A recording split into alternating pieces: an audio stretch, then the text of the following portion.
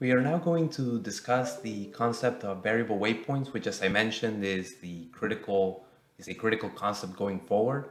So variable waypoints are poses using a variable assignment or script node. It's basically the definition of a reference frame. Uh, in Polyscope, it's defined with this P brackets and then it's X, Y, Z and then the rotational X, Y, and Z.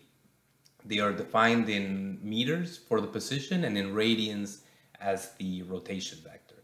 Um, and if the TCP is purposely defined and the orientation of a plane uh, is also purposely defined, then typically the rotation will be left as zeros. So in the next section, we're going to cover how to implement this in Polyscope.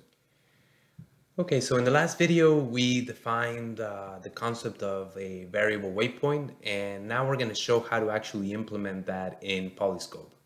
As I mentioned, this can be done in two ways. Uh, the first will be through an assignment variable. So uh, you can rename this to uh, P1. Um, and then that assignment variable can then be set to a pose. And that is set using the brackets like this. And you define uh, six zeros because it's the rotation. So we have one, two, three, six zeros. So that will be a position. This same thing can be done in script. So I can say uh, P2 equals P, um, and then same thing,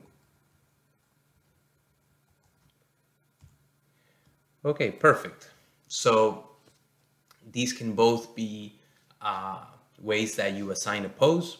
And now how do you actually use this? So in order to use this, you do it inside of a move or obviously in script code. So inside of a move, it will look like this. So let's say we do a linear move. And if we do a linear move, we can say, well, relative, this is a position relative to what feature? And, and we will talk about how to move relative to the base, the tool, and, and a feature. But so in this concept, let's, uh, you know, we have this sketch uh, rotated plane, which matches the, the plane that you see there in the video. And if you do that now, and um, you say here instead, for the waypoint, instead of being some waypoint that you define, we will say variable position and we will choose our P1. Uh, so we will choose our P1 variable. So notice here that the P2 doesn't show up because it's in script code. So it's probably better that you define your positions. Unless you're going to use it in script code, it's better that you use them as uh, variable assignments. So you say P1, and here we're gonna choose, you know, some 100 and uh, let's say here 300 for the acceleration. And so if we run this program right now, right, we, we're gonna run it and you will notice, so again, here for the TCP, we have our TCP that we've set before. So this is, you know, uh, and then we have our feature that is the sketch rotated feature. So if we move here and we say play, right, it's going to move right to the origin of that plane. Um, and what can be really handy here is that if we now want to move to the corner of the first uh, blue rectangle, um, we know that that has a two offsets that are 25 millimeters.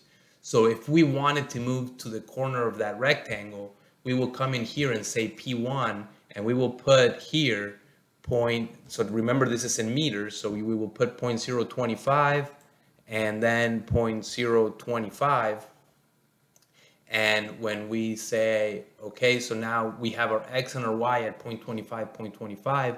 So if we play this now, we're gonna go to the corner of that rectangle.